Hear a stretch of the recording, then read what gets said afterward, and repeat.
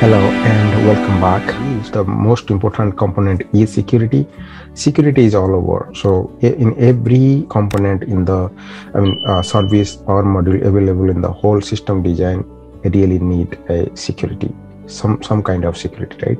So security is a strategy pull off to protect the resources connected to the corporate network, right? So each resource, when connected to or from remote, creates a potential entry for security threat. Right?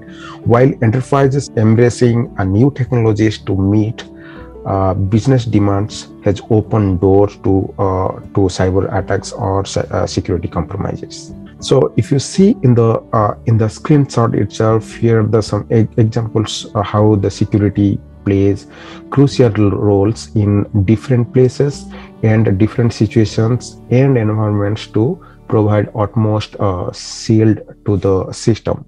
So if if we think of like if this is a whole uh, whole uh, system design landscape and this is the whole uh, infrastructure we have then when the any user you know uh, try to access to the system through the internet uh, it comes to the DNS and applies the security over here right? And then it's try to you know connect to the gateway and there is a security you know applied.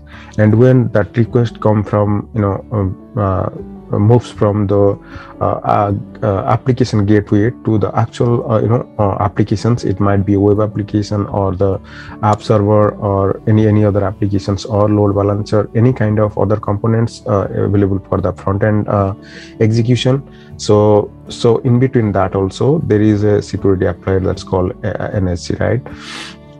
And when when any request uh, you know goes through the um, web app to the actual backend service or the middleware service so there also the security can be applied. So in every layer wherever the layer we are able to you know uh, we have uh, we have been putting the load balancer we have been putting that uh, and those kind of you know uh, components to really uh, make the whole product performant.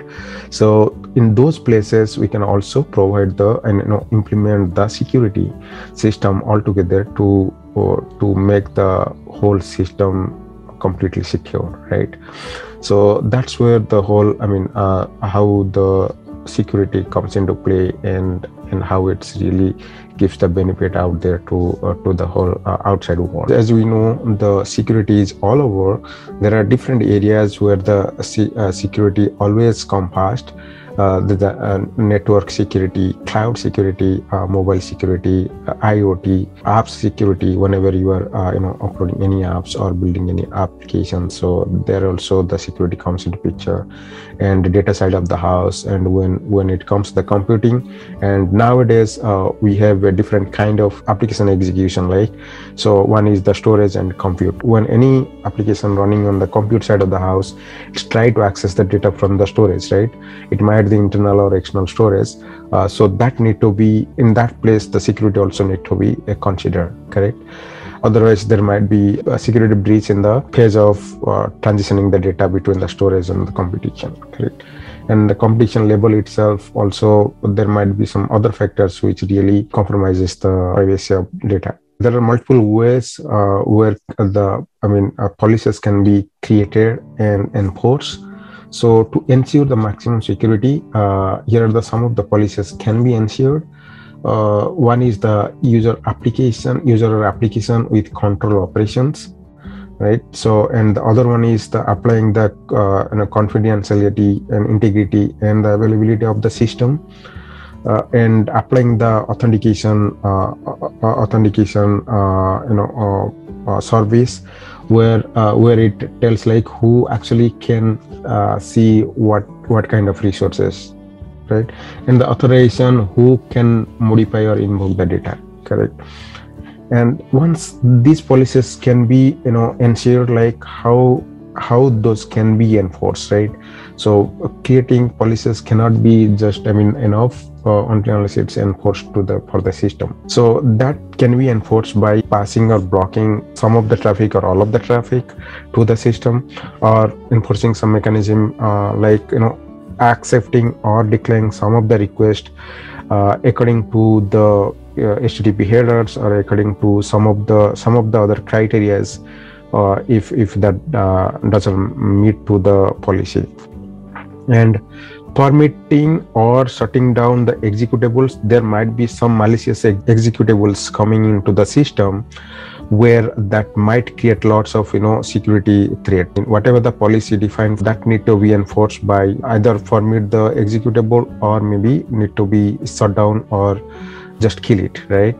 Uh, and the other one is the encrypt traffic or data. Whenever the traffic comes in the system or going out of the system. So the encryption need to be applied to the uh, complete traffic so that it cannot be deciphered in the uh, middle of the transition correct?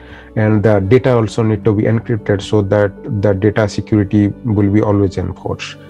And the isolate uh, users or applications. So what does that mean is like okay so so user whenever any user you are i mean uh, any user trying to access to the system so it uh, the user need to be uh, you know need need to be segregated uh, properly and need to be uh, need to be control over all the resources uh, it's available in the um, in the uh, system landscape right? So even it may be a human uh, you know uh, human to machine or maybe machine to machine interaction but they have to be isolated from each other to uh, ensure utmost security.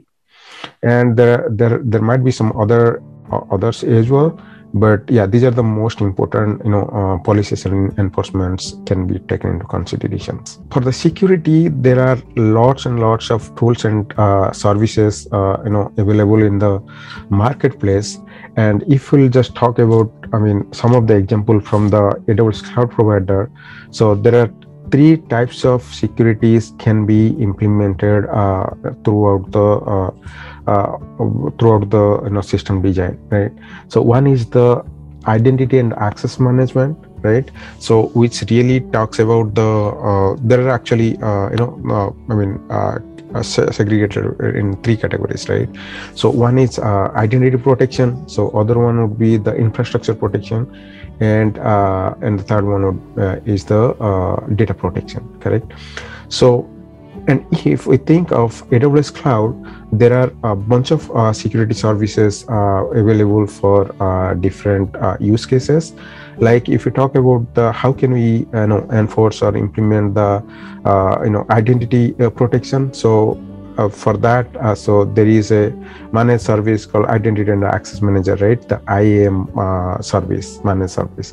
So is being provided i mean through multiple uh, services that's called aws cognito uh, aws single sign-on uh, aws uh, you know directory service and uh, resource access manager and for the infrastructure protection some services which is available for aws shield aws firewall manager aws web app uh, firewalls those kind of services. And for data protection you see like uh, like amazon uh, right?